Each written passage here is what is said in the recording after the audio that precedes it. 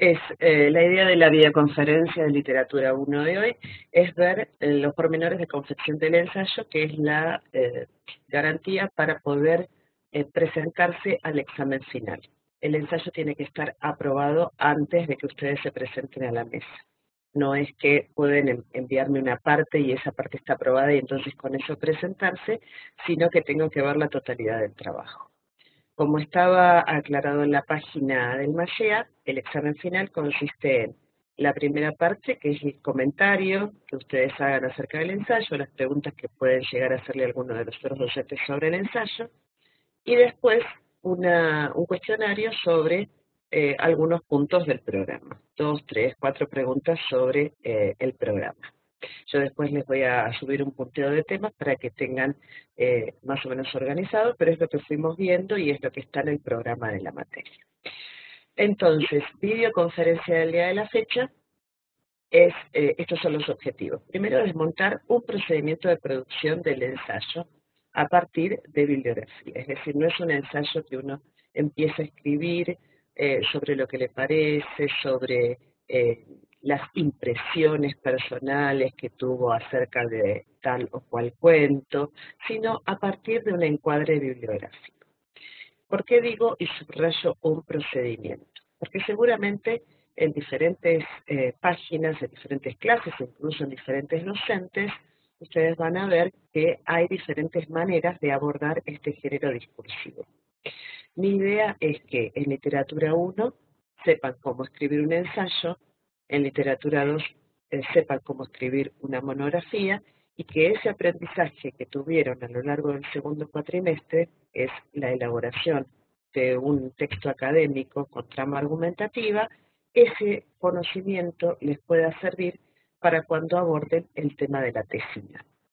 Por eso, insisto mucho, voy a insistir ahora en literatura 1 en la hoja de estilo y en literatura 2 cuando lleguemos a la monografía también a partir de la hoja de estilo del Machia, para que se vayan acostumbrando y ya cuando lleguen el día de la tesina, este, que es el trabajo final para recibirse, ya tengan incorporadas determinadas estrategias y recursos. Em, la idea entonces de hoy es desmontar un procedimiento de ensayo a partir de bibliografía, de un encuadre bibliográfico. A través de ese encuadre vamos a analizar un cuento, que es el que ustedes estuvieron eligiendo en la wiki. Eh, quiero hoy guiar cuál es el tipo de análisis que se pretende para literatura 1 y, por otro lado, establecer pautas obligatorias de entregas previas. Yo siempre digo una como mínimo, pero una en general no alcanza, porque en la primera lo que van a hacer es enviarme el planteo eh, y eh, de alguna manera yo con eso tengo idea de por dónde va a ir el ensayo. Eh, los archivos para eh, consultar cómo empezar a hacer el ensayo, eh, primero el apunte 8, el que está ya en la plataforma, que es el ensayo, características, recomendaciones, y hay un bloque en bibliografía adicional que es la bibliografía para encuadrar, creo que dicen las poéticas, la, literatura fantástica según Todorov, eh, los siniestros según Freud, bueno, diferentes encuadres biográficos, si son insuficientes, eh, yo cuando ustedes me digan, este es mi planteo o no sé por dónde hacer el planteo bibliográfico, los puedo guiar y darles alguna otra bibliografía. Pero como bueno, a veces el apunte 8 y decirles simplemente tienen que entregar antes el planteo, eh, es lo mismo. Nati Sago me pregunta si el análisis de ensayo tiene procesos similares. A lo largo del ensayo, ustedes tienen que analizar un cuento. Ahora yo voy a mostrarles un ejemplo que escribí especialmente para que ustedes vieran cómo es paso a paso hacer un ensayo. Que además, por otro lado, no es un, eh, un trabajo que estoy pidiendo. Eh, de todas maneras, noto eh, en las diferentes mesas que me tocó, en las que me tocó participar, que decirles cuáles son las características del, ensayo. Eh, encuadrar a ver cuáles son las eh, características formales de presentación y, e indicarles que eh, elijan un cuento, a veces resulta insuficiente, porque la gente, especialmente los chicos de distancia, tardan mucho en presentarse y creo que el escollo mayor es porque no saben cómo empezar a escribir el ensayo. ¿sí? Eh, así que ahora lo que vamos a ver es un ejemplo que yo escribí. Recomendaciones generales, eh, no consultar sitios de internet y no copiar. ¿A qué me refiero con, con copiar? No, no, no hacer eh, plagio porque a veces no este, atribuir convenientemente lo que van encontrando en la web puede eh, hacer que ustedes cometan plagio, que es decir, copiar textualmente lo que dice un sitio de internet y eso es algo que dijo un otro, que otra persona escribió y mandó a la web. Y a veces, por otro lado, no son sitios tan confiables. Entonces, la idea es que ustedes produzcan algo cortito, pero que sea de su propia cosecha. ¿sí? Muy bien, lo primero que, que voy a hacer va a ser este, abrir el ejemplo de ensayo que escribí. Bueno, me deja cerrar un archivo. Bien y voy a compartir pantalla con ese, ese ejemplo que yo escribí para demostrarles cómo eh, ustedes tienen que abordar la escritura del ensayo.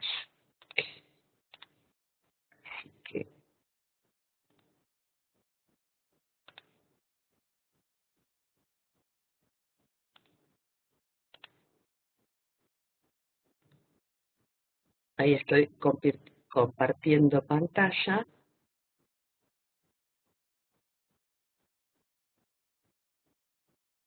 Muy bien. ¿Lo ven? Ahora no tengo acceso al chat porque estoy compartiendo pantalla. Cualquier cosa, díganme. Háganme una seña. Bien, primero Use la carátula. La carátula es una que yo les voy a enviar. ¿Lo ven, chicas? Sí se ve. Bien, Agostina, perfecto. Porque cuando comparto pantalla dejo de ver el chat, entonces tengo que volver. Bien. La carátula es la que figura en las guías. Yo le hice un leve cambio nada más acá en trabajo final, en vez de decir, de decir trabajo práctico, debe decir ensayo. Yo igual después el formato de carátula se los voy a enviar con los archivos que utilicé con este mismo archivo también. Título del trabajo. Yo voy a trabajar hoy con el almohadón de plumas que ya hemos abordado en la videoconferencia 2, porque es un clásico, porque ustedes todas seguramente lo deben conocer y porque además eh, es un, cuento que no está en la lista para elegir para hacer el ensayo, entonces yo puedo explayarme y sé que esto ustedes no, lo pueden repetir porque no es uno de los cuentos posibles. El título que eh, tienen que poner es algo en relación con lo que ustedes van a abordar. Yo en este caso puse una aproximación al análisis del almohadón de plumas y la poética de Poe. En general se recomienda poner aproximación porque es una eh, palabra mesurada una palabra que indica que no se están agotando todas las posibilidades de un texto. Así que no es, pongan análisis del almohadón de pluma, porque análisis de un cuento implicaría un libro de 50 páginas y aún así no estaríamos eh, eh, abordando todas las posibilidades que tiene un cuento. Para tener en cuenta, cada vez que mencionen un cuento, va entre comillas. El cuento que ustedes elijan va siempre entre comillas.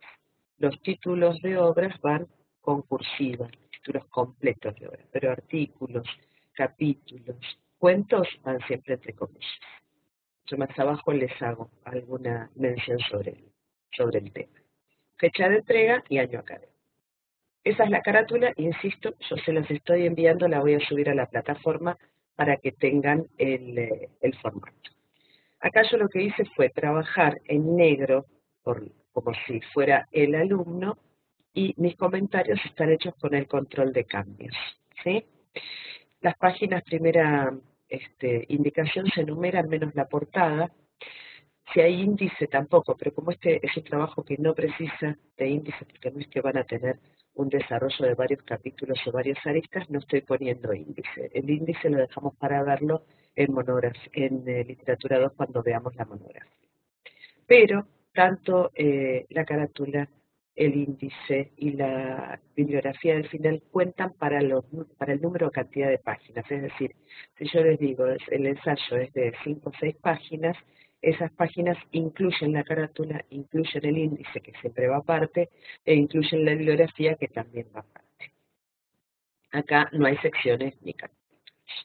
Muy bien, dejo acá un espacio un poquito más grande al inicio y eh, voy a volver un poquito al chat a ver si me preguntaron algo. Perfecto. Bien, acá tenemos una aproximación, vean que repito el título que puse en la carátula, y después hago los dos primeros párrafos.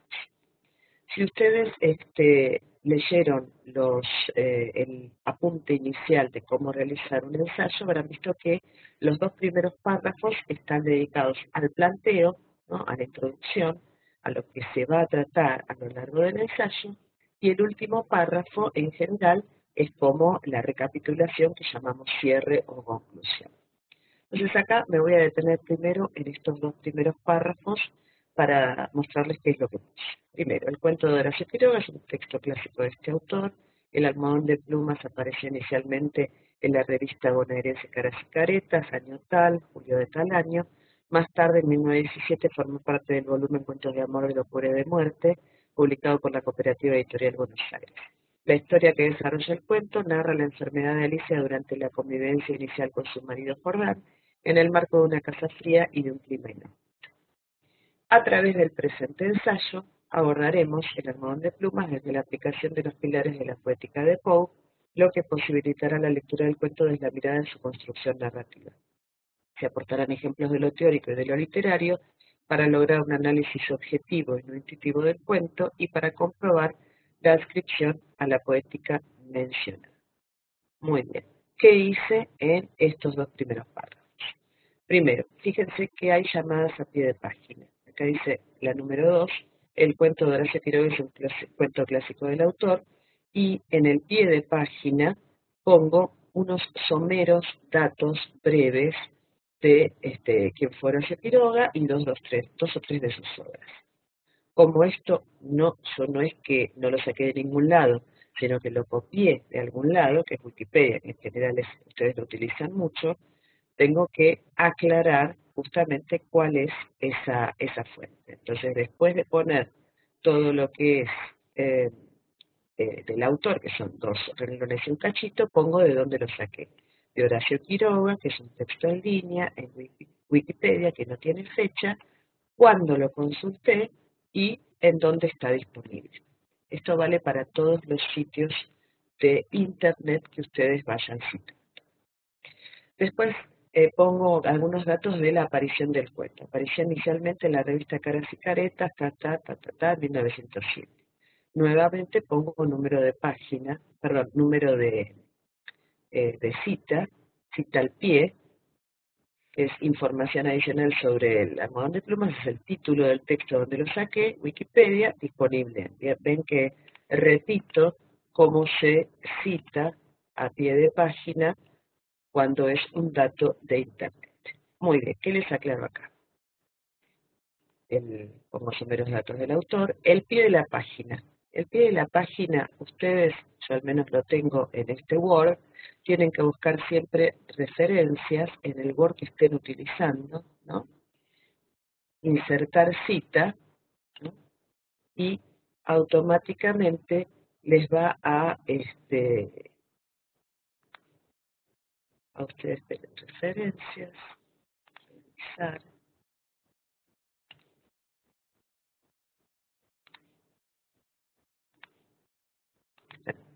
insertar cita, que acá ahora no me deja porque estoy parada en otro lado, ahí está, ahí me deja, y les aparece y les numera automáticamente, ¿no? Con, eh, eh, son los números correlativos de las citas que pusieron. Yo acá no voy a agregar una, simplemente les mostraba para que ustedes pudieran ver cómo se hace esto de insertarse. Entonces, en referencias, insertar nota, no insertar cita, insertar nota Muy bien, estas, estas citas de acá van siempre en una letra más chiquita, fíjense que está en 11, y yo acá estoy trabajando en 12. Y además, ustedes tienen que sombrear y justificar. Esto también va a justificar. ¿sí? Perfecto. Eh, ¿Cuál es el interlineado? Siempre todo lo que voy diciendo es, según la hoja de estilo, el interlineado es 1,5. ¿Cómo se logra eso? Sombrea, botón derecho, párrafo, ahí tienen interlineado. ¿Sí? El que tienen sencillo, doble, mínimo, ustedes siempre interlineado de 1,5. Muy bien. ¿Por qué puse notas al pie de página? La 2, la 3 y la 4, ¿no? la 4 ya la voy a sacar porque no es la que estoy. Ahí está. Porque eh, los datos que yo estoy refiriendo tienen que ver con páginas de Internet. ¿sí? Eh, siempre que sea de fuentes electrónicas, de diarios o revistas en versión papel, o incluso del cuadernillo porque se toma como revista, van a pie de página y se las reitera al final. ¿sí? Entonces, primero acá y acá, ven que el cuadernillo también, estoy este, refiriéndolo más adelante, se toma como revista, también va a pie de página y se reitera al final. Cuando es de un libro, libro eh, completo que ustedes tienen por ahí que, alguien les pasó un PDF, que no es que lo sacaron de la web o es un libro en versión papel, no se pone acá la cita, ahora les voy a enseñar cómo, pero sí se pone al final. Muy bien.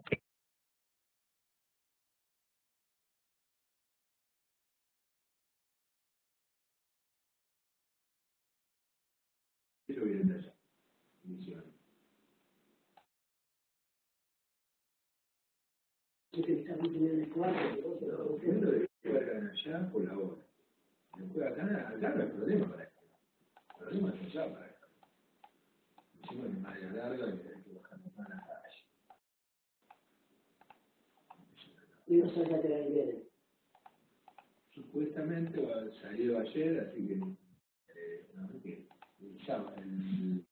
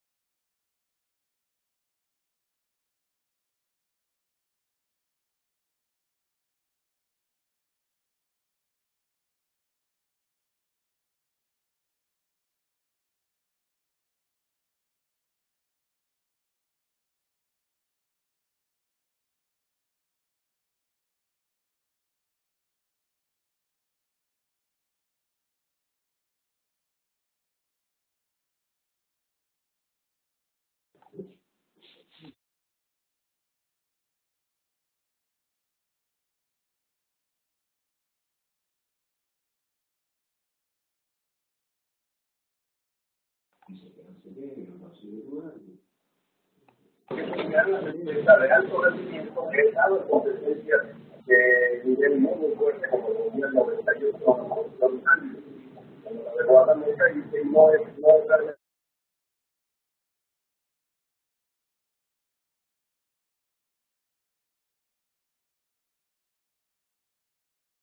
Hola, hola, hola, hola, ¿se escucha? ¿Sí? Bien. Bueno, paciencia. Yo la verdad que siempre hago lo mismo, pero no sé, hay, se ve que hay botones cuando alguien se conecta o algo que se vuelve a desconfigurar que desconozco la tecnología por donde va.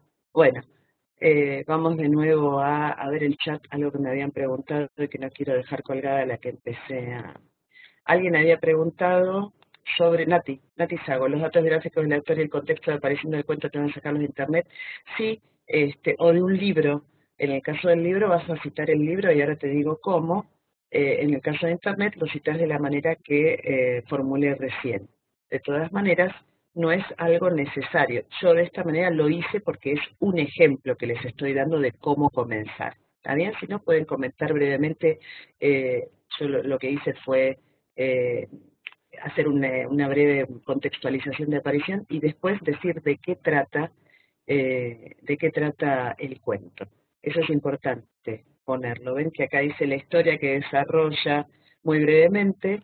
Pueden poner directamente en qué año apareció el cuento y después brevemente decir de qué trata. Es importante poner de qué trata, ¿no? Y no empezar eh, directamente con la parte de, trama argumentativa, es lo único, digamos, narrativo que pueden poner de, de qué se trata el cuento someramente. Muy bien. Acá puse espacio automático. Esto es eh, en cuanto a la, a la configuración. Saben cómo hacerlo, si no, pueden hacer el párrafo que siga directamente y hacer sangría. A mí me gusta más esta, esta versión, ¿no?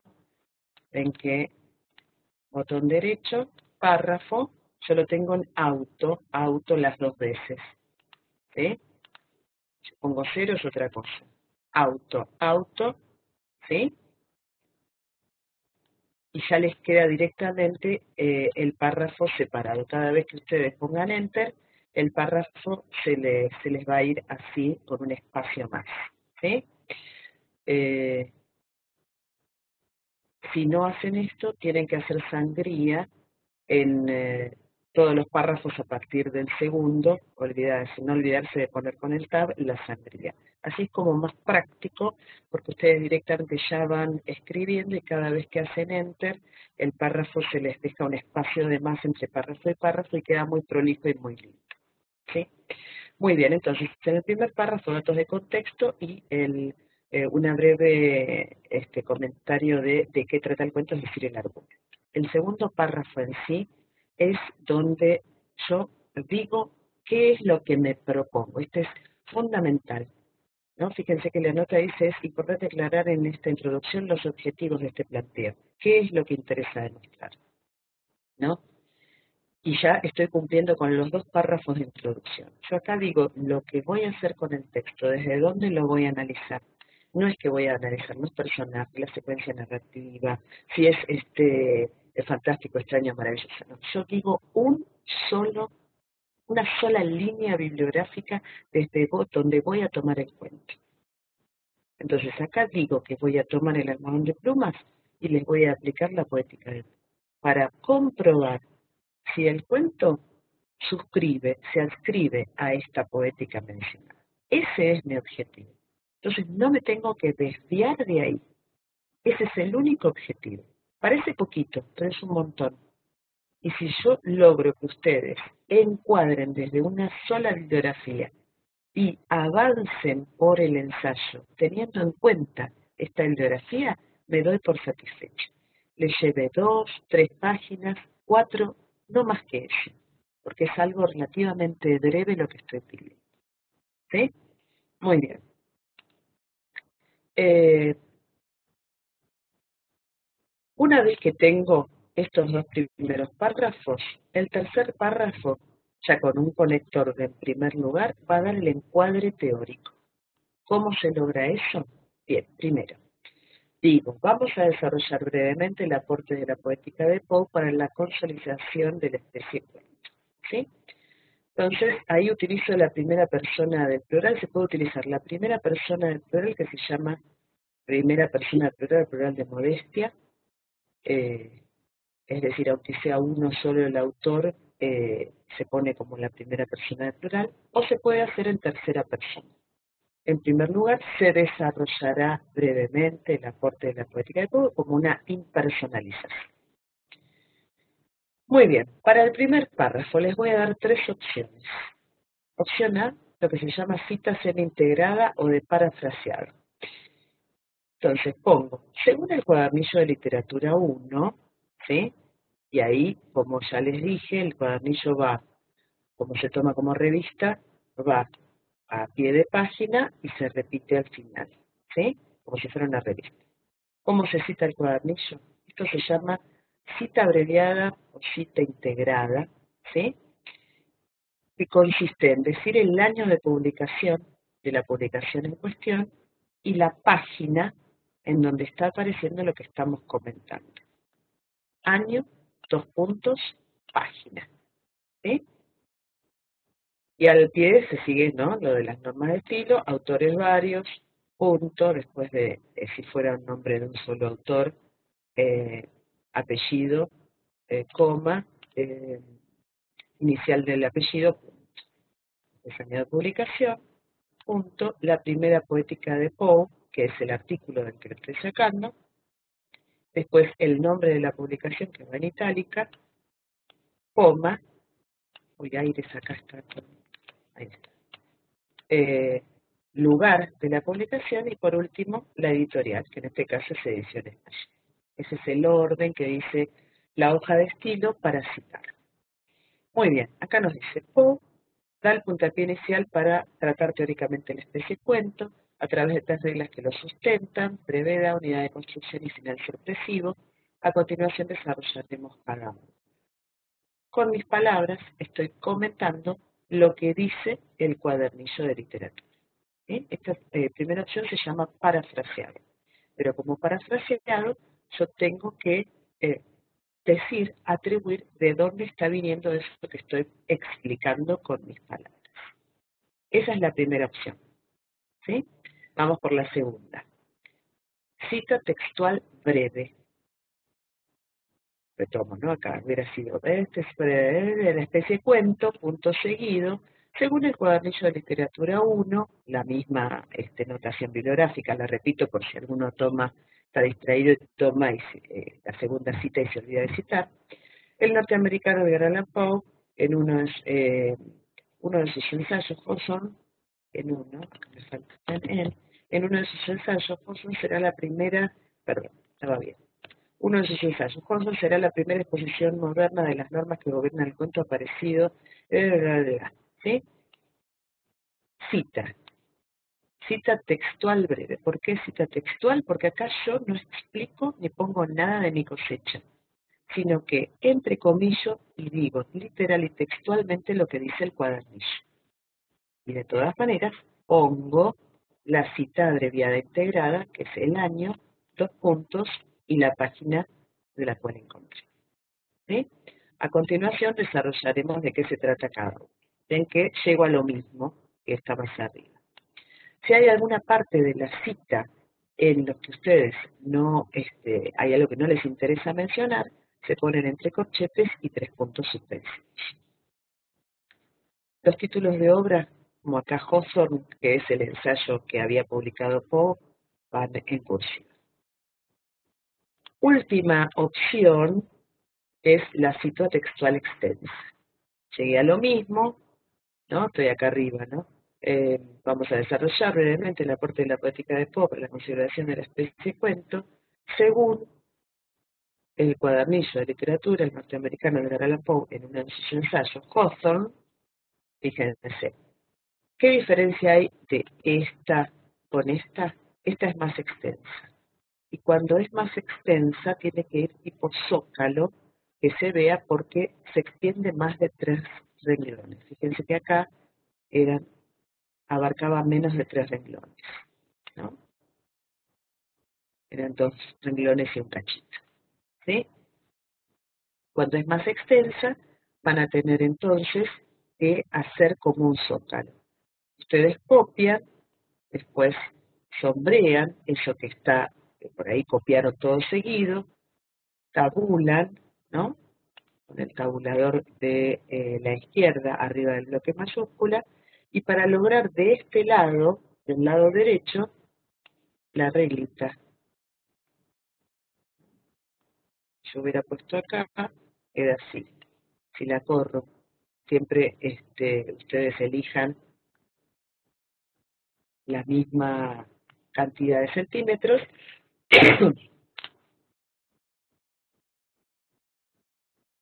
para que quede tipo zócalo la cita textual más extensa.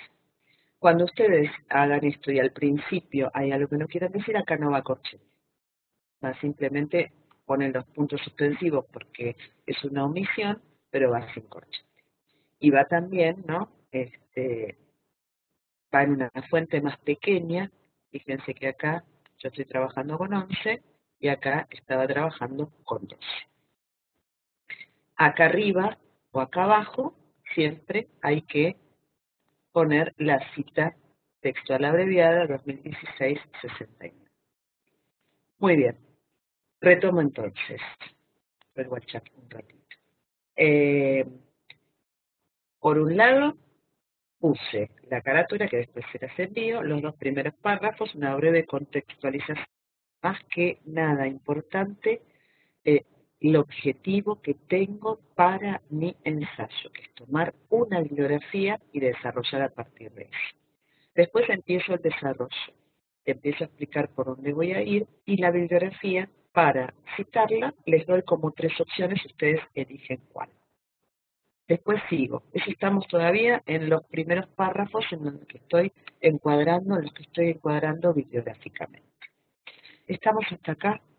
¿Hay alguna pregunta hasta acá? ¿No? Ok. No las veo las chicas. Solo veo a Nati que me dice que no, pero para no sacar, para no sacar la, la pantalla, las demás díganme por el chat que está todo bien.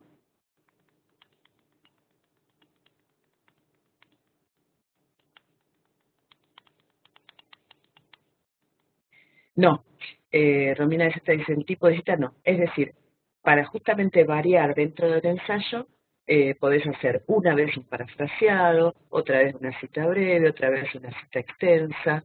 Eh, cuando es del cuento, porque del cuento también van a citar, en general son citas breves entrecomilladas. Eh, tiene que tener, digamos, como cierto dinamismo el tipo de cita que van utilizando. Lo importante es que en cada una respeten la configuración. Si es la de Zócalo, tiene que ser entonces que se vea centrada en el párrafo y con una letra menor.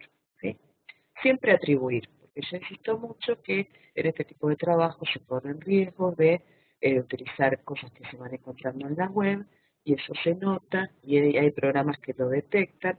Entonces, para evitar eso, tiene que ser todo este, de la cosecha personal.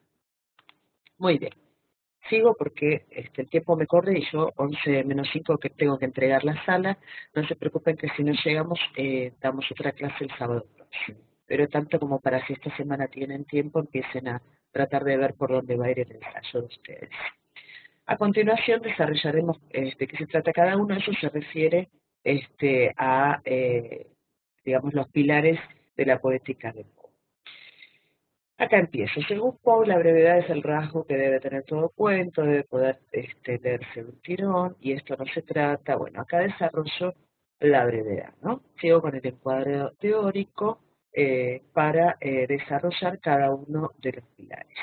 Desarrollo estos pilares, atribuyo de dónde lo saqué, ¿no? Y después de ese párrafo en el que desarrollo cuáles son los pilares, pilares paso a eh, después de este encuadre pongo un conector y digo, de acuerdo con esta teoría. ¿cómo se pueden observar estos pilares en el algodón de plumas de Quirón? Este es un recurso muy útil, muy útil argumentativamente hablando, que nos da el pie para que nosotros empecemos la aplicación. Porque hasta ahora lo que hice fue eh, decir el argumento, decir desde dónde voy a encuadrar, explicar lo teórico. Pero si me quedo ahí, estoy siempre como diciendo lo que dijeron otros. Ahora voy a mi cuento y digo, ¿cómo se pueden aplicar estos pilares en el armador de ¿Cómo puedo observar estos pilares? Y ahí empiezo con lo que es mi cosecha personal.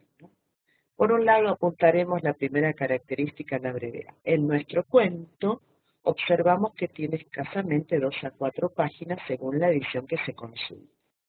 Pero tal como Paul decía, no es solo cuestión de extensión material, sino también de concisión y síntesis, ya que así se logra una impresión rápida y contundente. Esa brevedad está dada por el hecho único y por observar cómo todo, descripciones, diálogos, informantes, confluyen hacia ese hecho y contribuyen a su unicidad. Por ejemplo, Observemos el siguiente fragmento del almohadón de plumas. Acá, como cito el cuento. Nuevamente, pie de página, pero ¿por qué pongo pie de página? Porque eh, yo, no, yo estoy trabajando con una edición que encontré en línea. Si ustedes están trabajando con la edición en edición papel, van a poner entre paréntesis, en vez de la nota pie de página, el año de publicación de la que ustedes están trabajando. Siempre hay que tener mucha honestidad con eso. Este, este cuento lo encontré en mi libro y entonces ese libro es del año 1989 y la página tal. Como yo estoy trabajando con una edición electrónica, la cito a pie de página. ¿Ven? Quiroga, el almohadón de plumas, encuentro de amor, locura y de muerte en línea, Biblioteca Virtual Universal, cuando lo consulté y disponible. Entonces, por ejemplo, observemos el siguiente fragmento del El almohadón de plumas. Fue ese último día que Alicia estuvo, etc. Y pongo la página porque en el caso de la edición que yo estoy trabajando, esa edición en línea, está en la página 80. ¿sí? ¿Pongo la cita y me quedo con esta cita? No, explico su pertinencia. Podemos señalar en esta cita del nudo, cuando empieza a desplegarse la parte central del cuento, que en pocas palabras todo contribuye a acentuar la imposibilidad del remedio para la enfermedad de Alicia y el clima que produce ese hecho único. Entre esas palabras podemos mencionar desvanecida, ordenándole calma y descanso absoluto, voz baja, si mañana se despierta como ella ven enseguida. De esta manera vemos como todos los elementos, hechos, descripciones y diálogos apuntan hacia ese hecho que es la enfermedad inexplicable de Alicia. Puse un solo ejemplo yo, chicas, pero ustedes pueden poner dos o tres más extensos, menos extensos, más breves, y en cada uno ir explicando cómo, de alguna manera, están ustedes contribuyendo al hecho único que apunta a esa brevedad. ¿sí? Retomo entonces la explicación que les puse acá, cómo estoy produciendo el ensayo. El mecanismo siempre es el mismo. Primero un cuadro desde lo teórico, o desde la cita de autoridad. Alguien reconocido, texto de autor, que escribió, estudió o dijo algo sobre el tema elegido. Acá, mi encuadre teórico es la poética del Poe. Después aplico al cuento en cuestión. ¿Cómo se hace eso? Señalo, explico dónde, cómo se ve eso teórico en el cuento, desarrollo. Después de eso hago una cita textual para ejemplificar o fundamentar, ¿no? Y fundamento además la pertinencia de esa cita. Este es el esquema básico del argumentativo. Siempre tienen que ir de esta manera. Después, ¿no? Cuando se tiene el mecanismo incorporado, cuando uno se escribió mucho, hizo mucha escritura académica, se puede escribir con más soltura y soltar poco, dejar esta estructura básica, ¿no? Dejarla que fluya por otros carriles, darse más licencias de redacción y ampliación, ¿no? Pero por ahora, que ustedes están en las preliminares de un ensayo académico, tienen que seguir esta estructura y eso les va a dar seguridad y con esa seguridad se van a afianzar, ¿sí? Si ustedes no lo hacen así, el ensayo, o cuando lleguen a monografía en literatura 2, o cuando lleguen a la tesina en el último año de la carrera, eh, si ustedes no incorporan esto, el trabajo se vuelve como una suma de cita de otros. ¿no? Cita y pongo dos renglones y cito otra vez eh, se pierde la producción argumentativa personal, es decir, cómo yo voy desglosando, cómo encuentro la teoría en el texto en cuestión. O peor, ¿no? Por ahí pasa muchos que me dicen, bueno, yo voy a elegir este, no sé, las babas del diablo. Entonces me parece que el personaje es, es muy porque se vuelcan como a un análisis intuitivo, sin encuadre, sin encuadre teórico, es decir, sin citar teoría, y eso no tiene rigurosidad académica. ¿Sí? Voy un minutito al chat, les pregunto, estamos hasta acá, necesitan que reitere algo, pónganme si no, así salgo del chat porque el chat me tapa los comentarios y quiero que ustedes los vean. ¿Está todo ok? Bien, eh, podés eh, utilizar eh, informantes, núcleos narrativos, indicios, ver si, por ejemplo, muchos de los relatos que estuvieron eligiendo, que vi en la wiki, son relatos indiciales, viste el esquema de Bartes, que tienen núcleos, catálisis, indicios, bueno, entonces analizar solo los indicios, es decir, bueno, estos son los núcleos narrativos. Pero después, a lo largo de todo el cuento están diseminados una serie de indicios que me llevan a una lectura del cuento. Eso por un lado. O pueden elegir, por ejemplo, eh, por qué es un texto fantástico.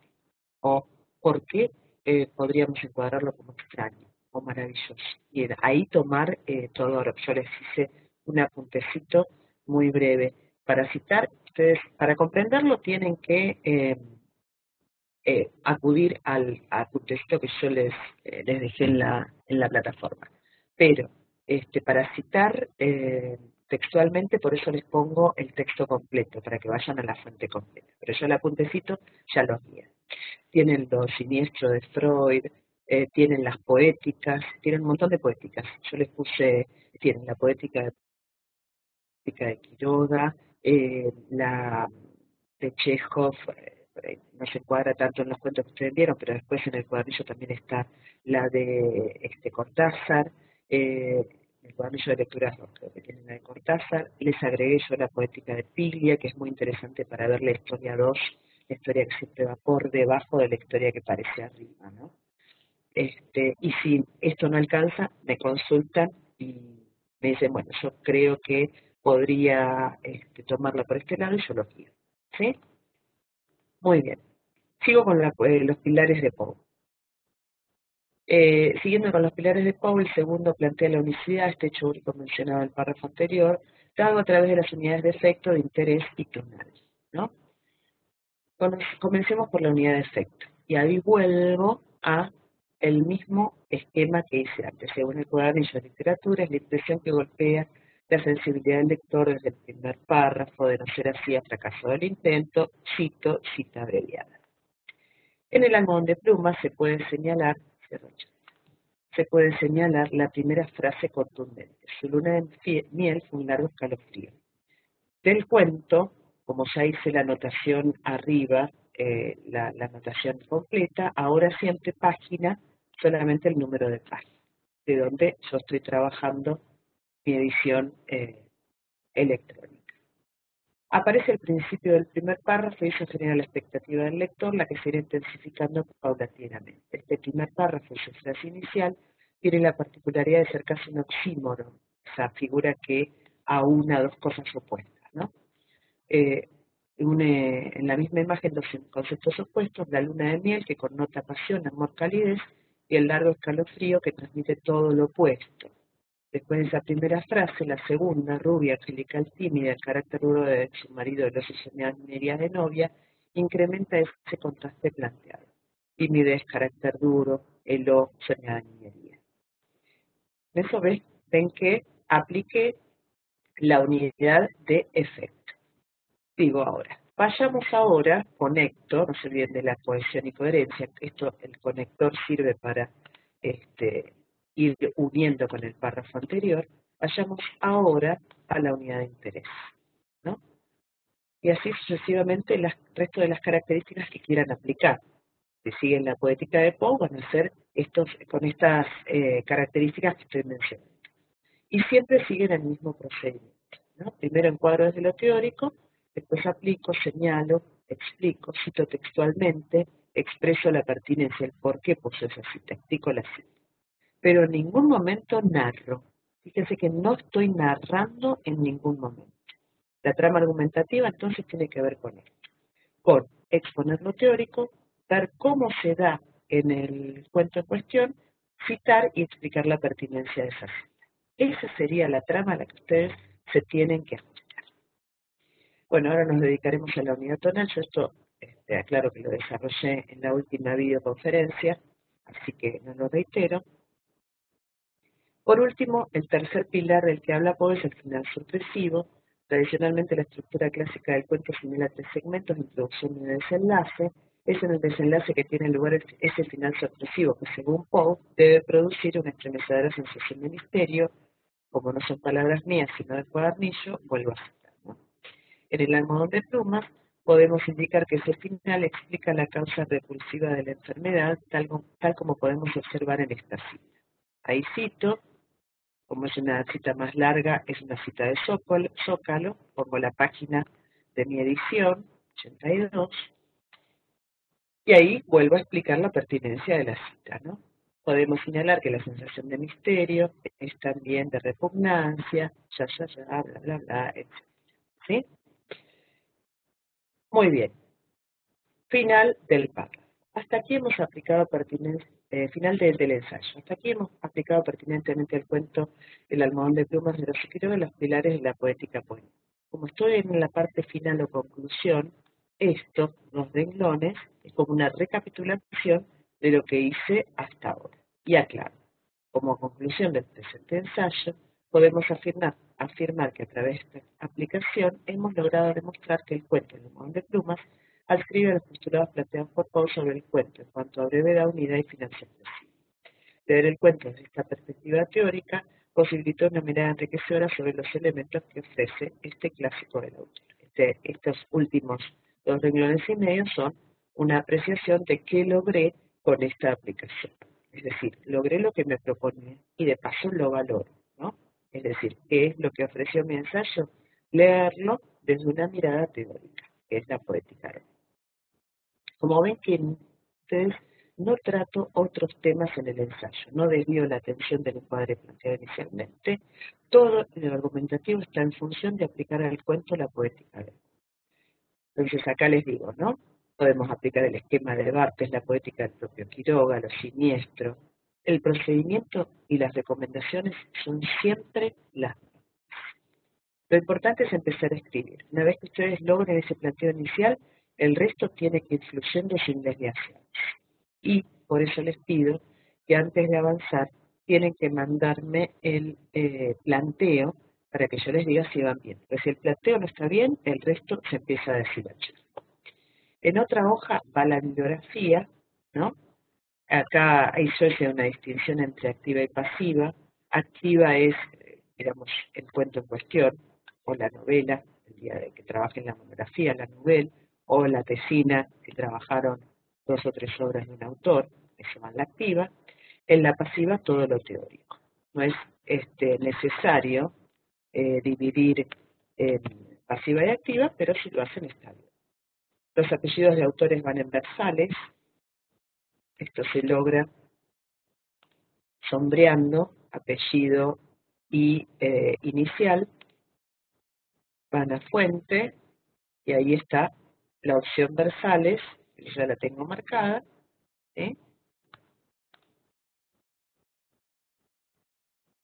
Si hubiere más de un autor, van ordenados alfabéticamente. Yo acá este, lo que cito nuevamente son, lo, como no usé ningún libro en versión papel, cito las eh, publicaciones que ya estaban a pie de páginas porque se eh, para citar libros, para citar libros en versión papel, Fíjense que en el archivo 8, eh, que es el que se relaciona con el ensayo, tienen eh, el orden, que es seguir según la hoja de estilo las normas APA, es una notación para poner siempre apellido, coma, inicial del nombre, punto, este, eh, obra, lugar de, edición, editorial, es más o menos el orden de esas en todo el trabajo, una vez que terminaron con todo, nos sirven de justificar márgenes y también justificar las eh, citas académicas. Muy bien, como les decía antes, esto es lo que yo les voy a estar enviando, eh, esto que yo escribí con todas las explicaciones y con todos eh, los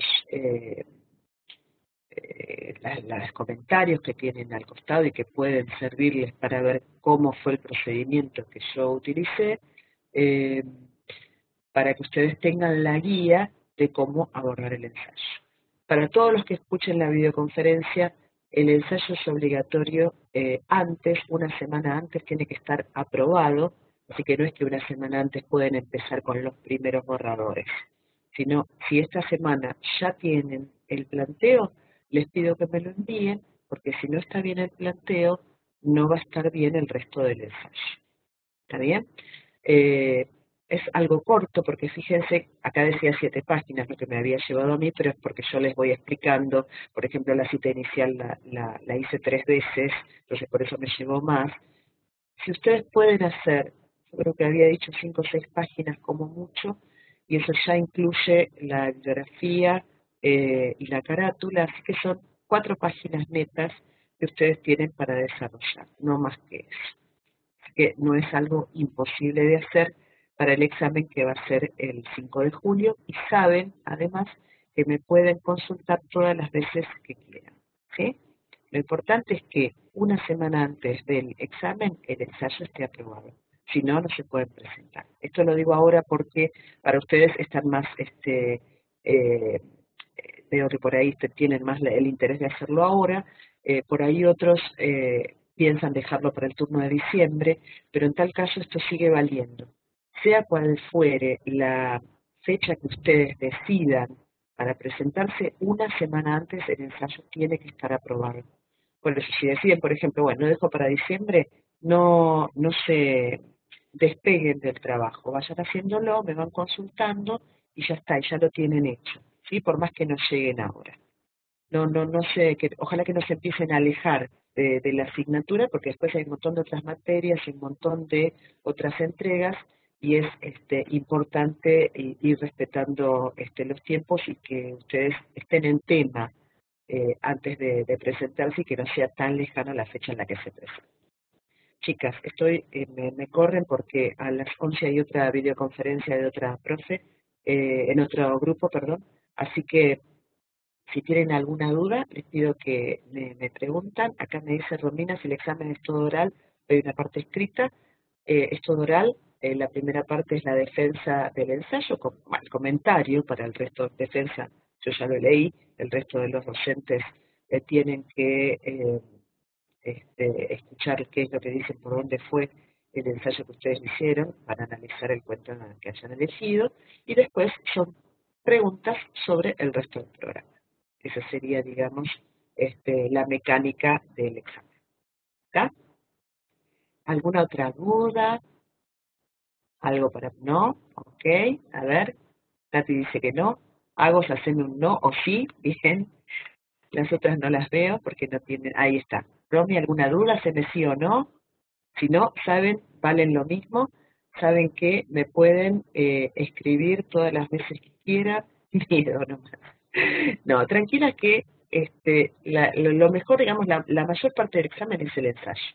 Así que eso es lo que ustedes trabajaron, así que hablar cinco minutos de algo que estuvieron escribiendo no es lo difícil. Después, bueno, sí, el, el, lo que tienen es que saber los contenidos. Yo les voy a hacer, insisto, un punteadito de temas para que puedan en el momento del final no pensar, uy, es todo y esto va a ir con tanta relevancia y esto va a ser más profundo.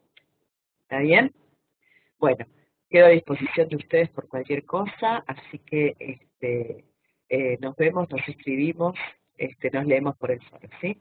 Un beso y buen fin de semana largo. Chao, chao.